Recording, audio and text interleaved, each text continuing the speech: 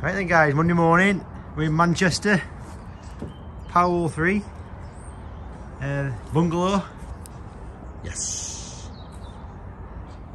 Happy Reese? Very. right, this uh, this job, um, it's even better because it's all it's all getting redone inside, so no walls, so we've got literally full access.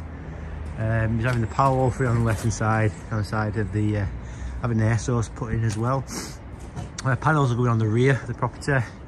Um, everything's pretty straightforward. Uh, sort of show you around where, where we're going to put everything and what we're thinking.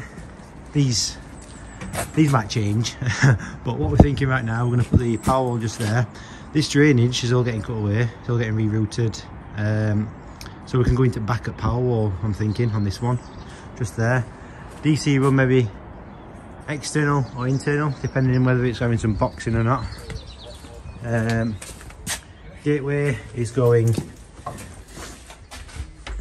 gateway is going there, look at that nice piece of plywood. We've already ran cable, took us five minutes. Look at that.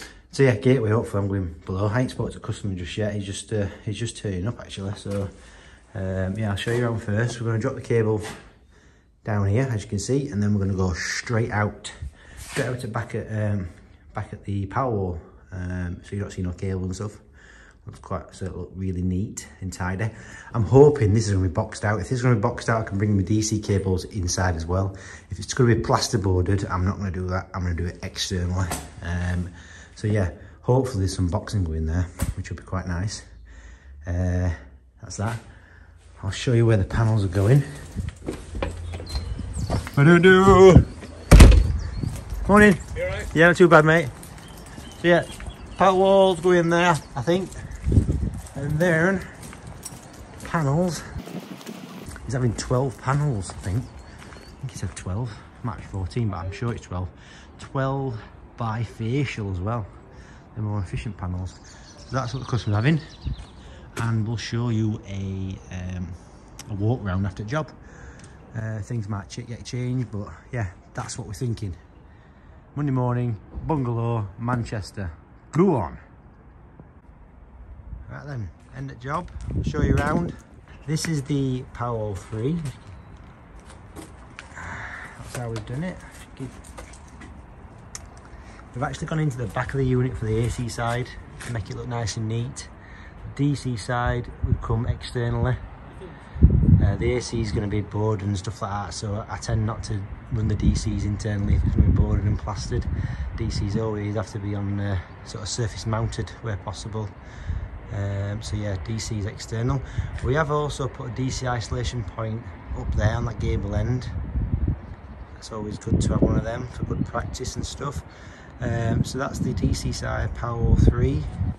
So that's the Powerwall 3 the uh, rod we chucked down, down here. Got decent reading like 50 ohms, which is class compared to last week in Wales.